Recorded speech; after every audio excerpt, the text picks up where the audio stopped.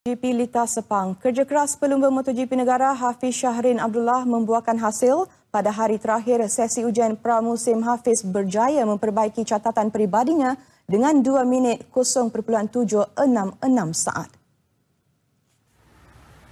Hafiz yang bergelut untuk menyesuaikan diri dengan jentera KTM terpaksa berusaha lebih keras pada hari terakhir. Akibatnya, kecederaan terpaksa ditanggung Hafiz di bahagian bahu dalam usaha mengawal jenteranya. Ini bukan uh, saya kecederaan lama tapi mungkin sebab uh, saya uh, apa orang kata oh, uh, fighting dengan jentera KTM ni KTM ni agak berlainan sikit dari jentera saya yang lama so perlu gunakan upper body begitu banyak that's why sekarang ni saya cuba uh, rest dan uh, physio uh, sebanyak yang mungkin dan then uh, saya cuba improve dari segi physical training saya dan uh, saya cuba uh, improve dari segi jentera juga.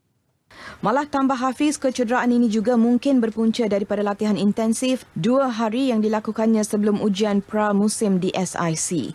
Namun Hafiz juga memperoleh input positif apabila kesefahaman antara rakan sepasukannya dan kawalan jenteranya semakin baik. Hafiz hanya memiliki tempoh singkat 13 hari untuk melakukan proses pemulihan sebelum sesi ujian pra-musim terakhir di litar antarabangsa Losail, Qatar pada 21 hingga 25 Februari.